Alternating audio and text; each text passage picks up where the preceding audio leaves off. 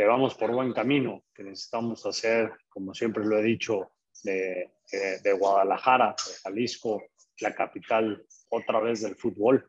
Sin duda somos el estado que más jugadores eh, produce en toda la República. Siempre o, o, hace tiempo éramos protagonistas y tenemos que trabajar en esa línea. Para que Atlas se haga fuerte y grande necesita de Chivas y para que Chivas sea fuerte y grande necesita de Atlas. Creo que siempre una, una competencia de este nivel te hace ser mejor todos los días y, ojalá eh, sea el principio de una gran historia del fútbol en Guadalajara.